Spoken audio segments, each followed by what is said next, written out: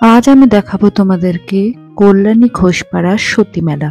কীভাবে এই ঘোষপাড়া সতী মেলায় আসতে হবে তার ডিটেলসটা আমি আগে প্রথমে তোমাদেরকে বলে দিই। তোমরা যে কোনো স্টেশন থেকে প্রথমে আসবে কল্যাণী স্টেশনে। কল্যাণী স্টেশন থেকে চার নম্বর প্ল্যাটফর্মে তোমরা পেয়ে যাবে কল্যাণী সীমান্ত ট্রেন। যেই সীমান্ত ট্রেনটা তোমরা নামবে কল্যাণী ঘোষপাড়া স্টেশনে। যদি তোমরা ট্রেন না পাও, অনেক সময় ট্রেন অ্যাভেলেবেল থাকে না, তো ট্রেন যদি না পাও, তোমরা কল্যাণী স্টেশনে নেমে ডান দিকে ঘুরে গিয়ে একটু এগিয়ে গেলে পেয়ে যাবে অটো স্ট্যান্ড ওইখান থেকে অটো করে তোমরা চলে আসতে পারবে কল্যাণী ঘোষপাড়া স্টেশনে।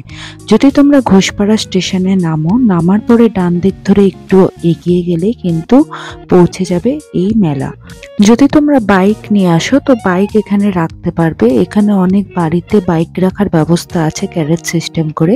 কুড়ি টাকা করে বাইক রাখতে টাকা নেবে। মেলাতে ঢুকে তোমরা দেখতে পাবে, একদম গ্রাম্য সাধারণ মেলার মতন। কোনো রকম প্রবেশ মূল্য নেই।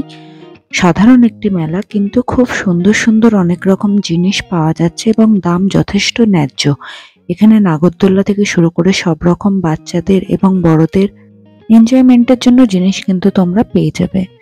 মেলায় রয়েছে অজস্র সুন্দর সুন্দর খাবার। আমরা এখন খাচ্ছি জয়নগরের রসমালাই কেক। মার্চ মাসের প্রথম সপ্তাহে কিন্তু এই মেলাটি বসে। এখানে আমরা কিনেছি মুড়ির প্যাকেট, হাতে ভাজা মুড়ি, খুব সুন্দর স্বাদের মুড়ি কিনেছি।